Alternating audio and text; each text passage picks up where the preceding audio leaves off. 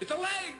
Tyler Schwartz's career began selling replicas of the iconic leg lamp from the holiday film A Christmas Story. Now, five years later, he's gone from a fan to a full-fledged purveyor of Christmas kitsch. His company is retrofestive.ca, and he's here today with some really eclectic holiday Hello, hello. Happy to be here. Happy to be here. Welcome. This is it, the leg Look lamp. at it. Now we we actually sell four sizes of this. I brought the smaller one today, but uh, you can get the full size one on our website.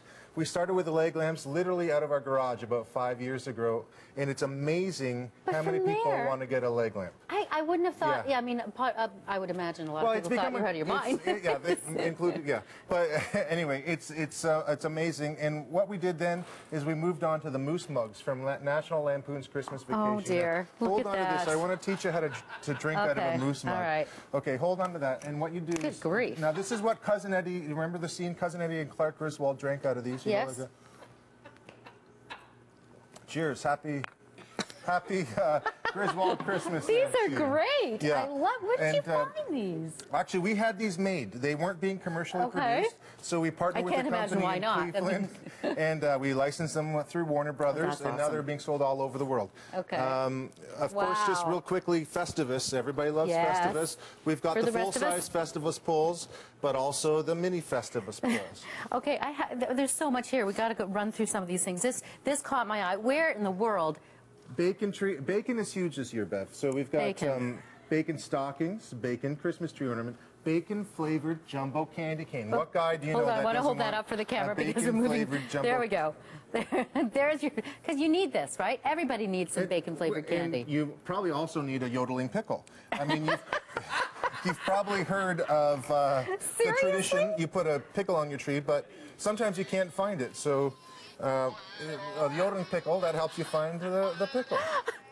Oh my gosh! Okay. A- Anwar's over there. He's writing all these things down for his Christmas done. list for Santa. Now, I, I know that a lot of people love the Big Bang Theory, so we've got a selection Yeah. of Big Bang Theory products, and of course all the Christmas classics. Oh, that you know Heat and love. Miser. Heat Miser, Snow Miser from Year Without a Santa Snow Claus. miser, and there's your leg lamp. Leg lamp. lamp, yeah, Ralphie and the old man there. Of course, Honestly. Rudolph.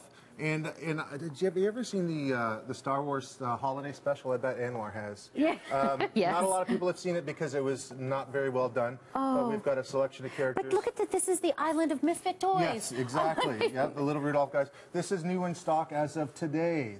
Mr. Buddy the Elf uh, from new. the Will Ferrell. Now, movie. I mean, these are kind of fun, and but th- this, this, This is a classic, and No you know there are there are some people that just love the classics, and we've partnered Wow. with with the, the lady who played Little Zuzu Bailey. Her name's Karolyn Grimes, and now she signs autographs. So she wrote this uh, great cookbook called uh, Zuzu's It's a Wonderful Life cookbook, and we we also saw the autographed uh, for the movie Yeah. buff. And look at this. These guys over.